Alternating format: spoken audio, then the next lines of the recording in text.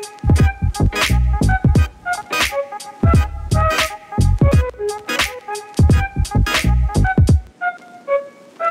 up mga tol? So, ito yung first vlog moto vlog ng Moto Forma P.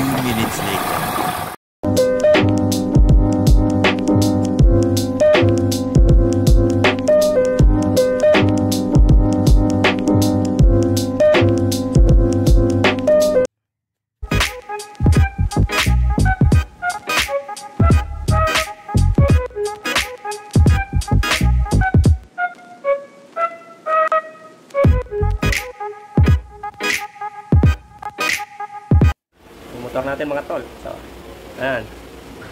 Tinig natin na rim na Vans Boy. Wala tayong budget ng pang SDR eh. So, ano pa ba? Ayun, Yaguso Rayos.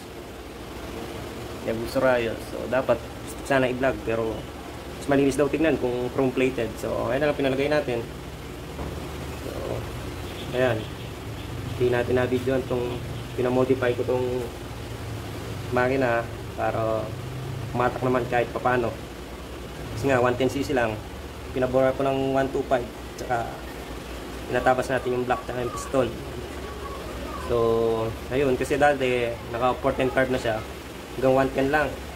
So, pabagal nakakabitin sa Although pwede na yun kung long drive ka kaso kunwari mag-overtake ka ng truck. So, iba talaga pag malakas yung hatak ng motor mo.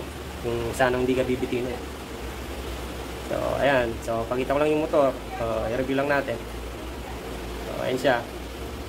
Bali, yung set lang ng motor nito is port and carb. Bore up ng 52.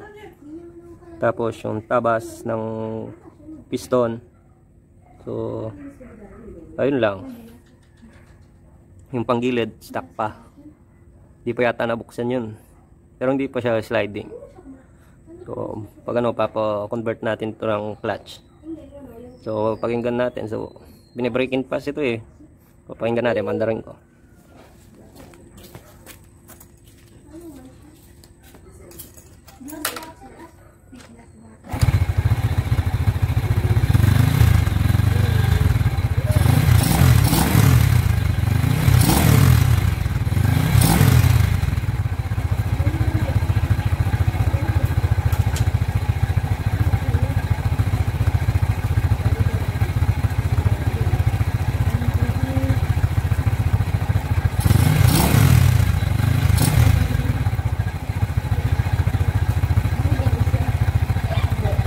So, ayan guys, pakinggan nyo. Parang lumakas yung boses ng motor dahil siguro sa pagka-bore niya. So, gusto na natin masubukan kung may improvement nga ito sa bilis ng ating motor. So, ayan. Bali, ayan, pakinggan nyo.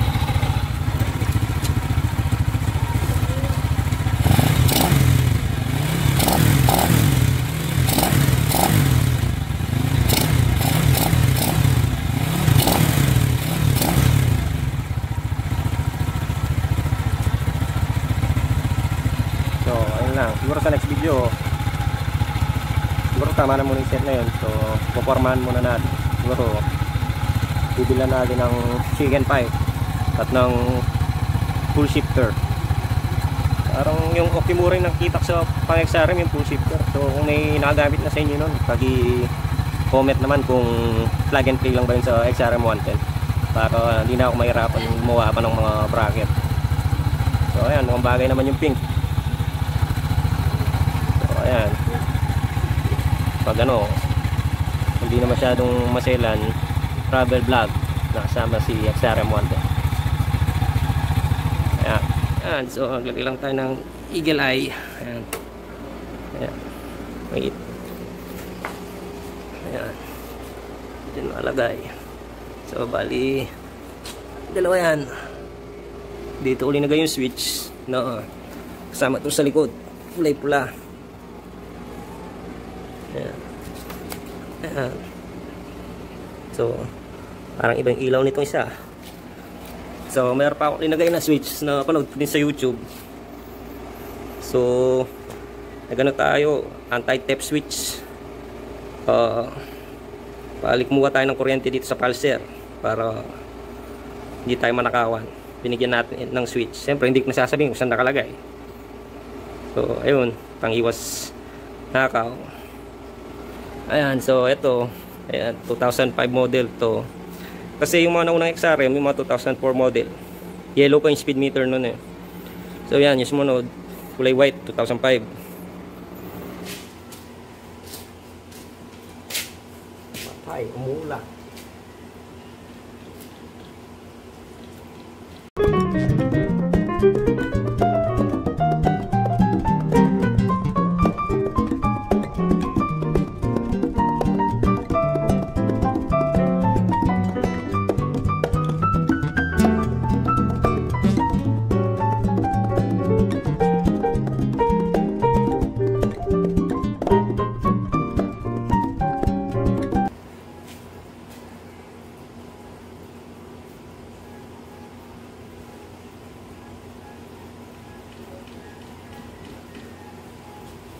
Na tayo maglinis, mga tol. Habang umuulan. Tipid sa tubig.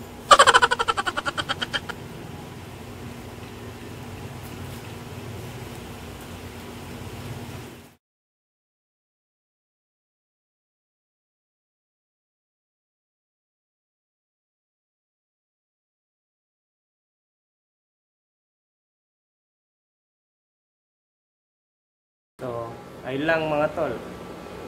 So, sana suportahan nyo tong vlog na to. Sana mag-like at mag-subscribe kayo para sa mas maraming video pa tayong magawa. Na, syempre, basically, modifications lang tayo. Then, sa road siguro, so, uh, pasyal-pasyal, pag di na masyadong maarte sa daan, wala nang checkpoint, checkpoint. So, ayan. Siguro, pag natapos na yun, doon lang tayo bibili ng chicken pipe. So, arte dito eh. Bawal eh. So, maraming salamat. Sa next video na lang, patol. Salamat. So, please like and subscribe.